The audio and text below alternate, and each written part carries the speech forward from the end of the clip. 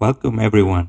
Today we are making a must-try of the Italian summertime cuisine, la pasta fredda, which literally translates to cold pasta.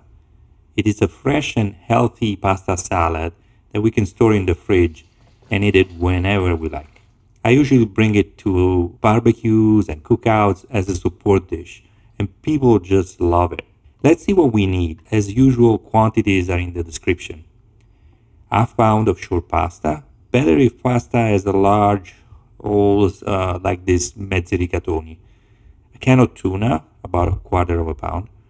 A few olives, do your guests a favor and use the pitted ones. A quarter of a pound of cherry tomatoes, a few leaves of basil, a pinch of oregano, and some mozzarella cheese.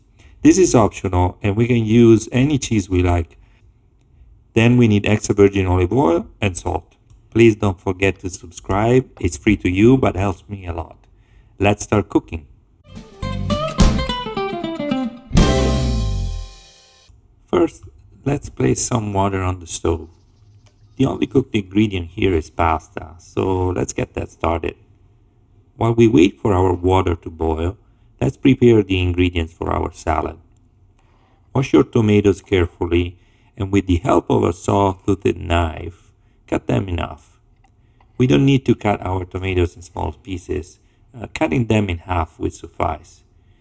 Next, let's put our tuna in a bowl and with a fork let's break it in smaller pieces just like that we can now continue adding our ingredients starting with our olives and oregano then we add some salt and our tomatoes we pour abundant extra virgin olive oil on top we break a few basil leaves with our fingertips and drop them in we can now mix our salad ingredients Notice that we did not add mozzarella cheese yet. That's because mozzarella will lose water into our salad and we don't want that. Also the cheese will turn yellow, which is not pretty to see. Meantime, our water is boiling, so we can put our pasta in, and then some salt. Remember the rule of thumb is 1 liter of water and 10 grams of salt for 100 grams of pasta, which is the correct serving of pasta for one person. Also, look at your pasta box to learn how long you will need to cook it al dente. When pasta is ready, we drain it. Then we put it back into our pot and add cold water. This process will obviously cool down our pasta, but it also removes the excessive starch which will cause our pasta salad to become sticky and chunky. Now that our pasta is cold, we can add it to the other ingredients.